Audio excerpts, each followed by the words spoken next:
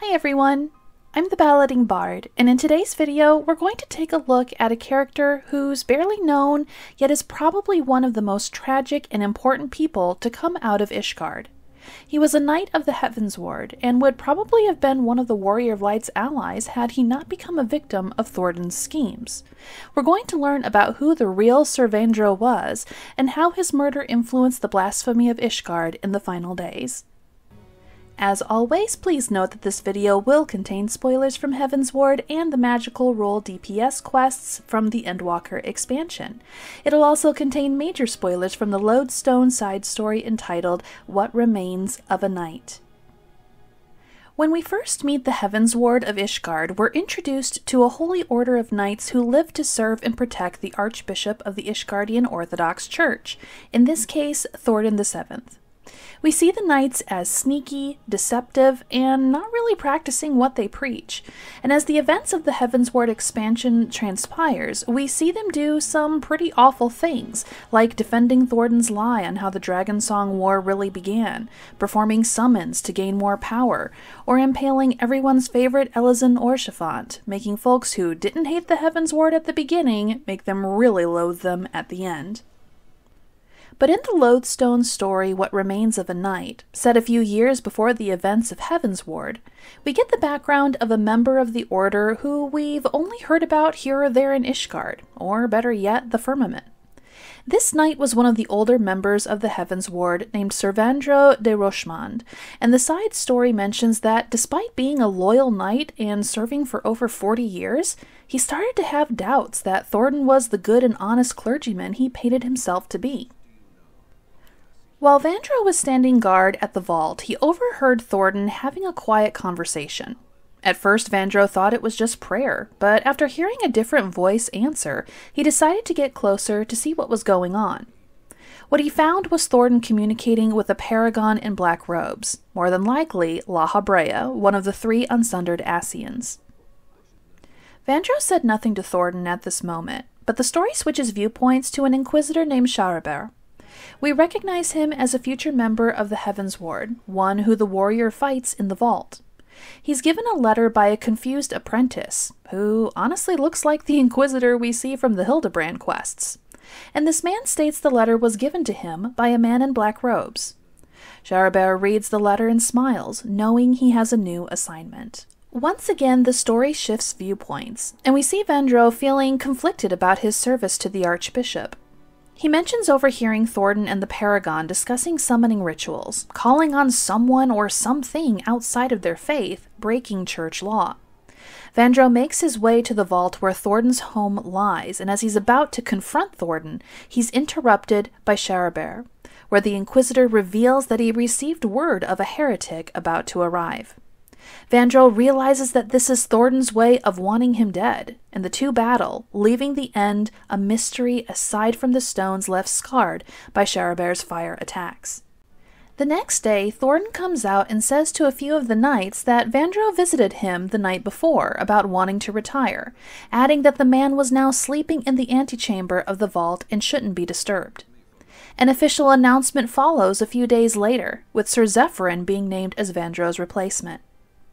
Vaindreau, of course, wasn't present at the retirement announcement, with Thordan adding that the knight couldn't be there because he begged to go on a pilgrimage instead.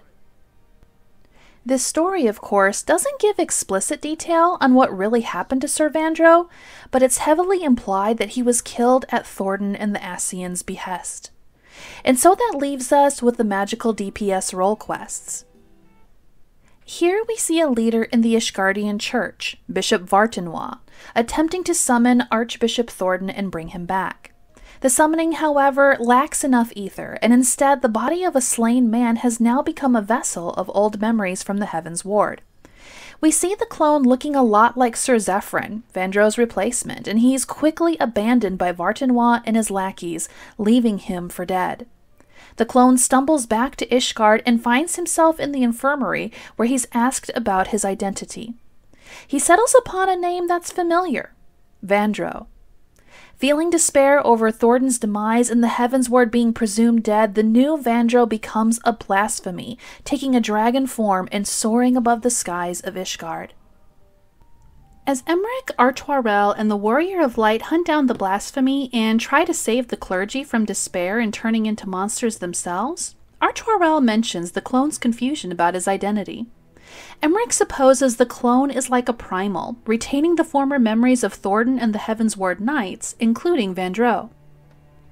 Could it be the predominating despair from the primal, however, was from the real Vaindreau's memories? Especially since he never got closure when trying to confront Thordan, and his implied murder went unnoticed. And to see these memories take the physical form of Zephirin, Vaindreau's replacement, could show his despair even more. Vaindreau spent his life serving Thordan, looking up to the man as the epitome of righteousness, only to find out it was a lie. Vaindreau died distraught, his own identity as a knight of the Heavensward in question, and he probably wondered if his service to the Archbishop had really been worth it. Vaindreau tried to do the right thing by confronting Thordan, but was removed and replaced by a young knight who wouldn't question the Archbishop's orders. Though Vaindreau's murderers did eventually come to justice, he didn't get the chance to come to terms with being disappointed in the man he served. Despite being remembered fondly by the people of Ishgard, Vaindreau's true sacrifice remained unknown, and the despair that he probably died with came back in the form of a blasphemy. It's a tragic tale when you really think about it. Yet another sad story of an Ishgardian who died for a lie.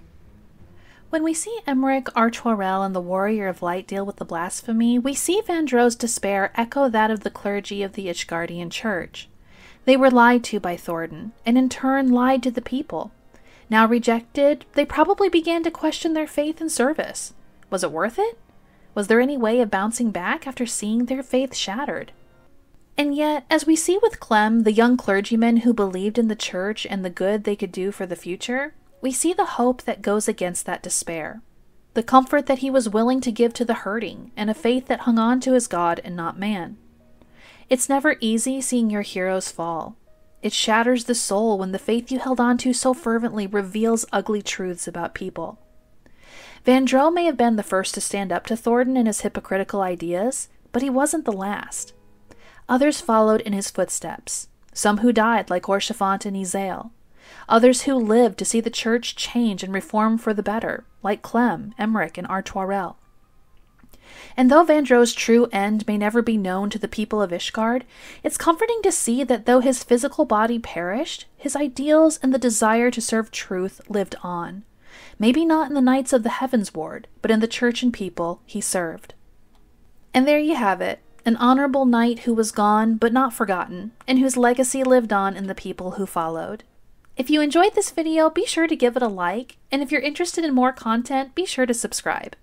I'm the Ballading Bard, and I'd like to thank you for joining. See you next time, and have a great day.